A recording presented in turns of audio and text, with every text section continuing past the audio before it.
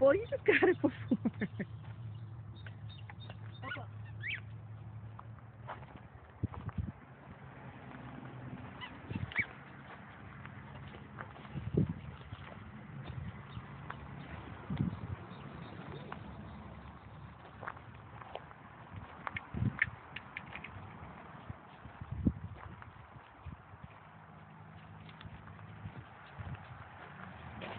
Thank you.